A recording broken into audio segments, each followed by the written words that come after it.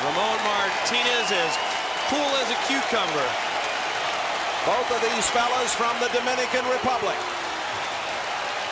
Going back with the fastball inside. And it is out into left field. Kelly makes the catch. And Ramon Martinez, a remarkable performance, no hitting the Marlins 7 to nothing.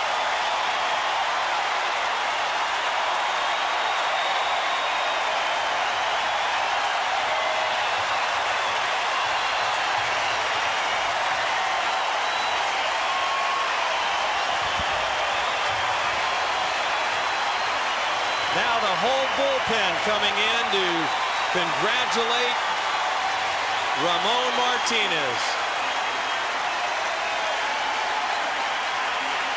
What an exhilarating feeling for this entire ball club. The only blemish, the two-out walk to Tommy Gregg in the eighth.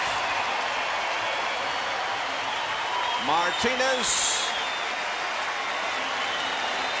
pitching coach Dave Wallace congratulating Martinez and now Ramon acknowledging the fans as the media swarms around Ramon Martinez. What a spectacular game the Dominican has thrown here tonight. 7 10 0 for the Dodgers. Zeros across the board for the Marlins.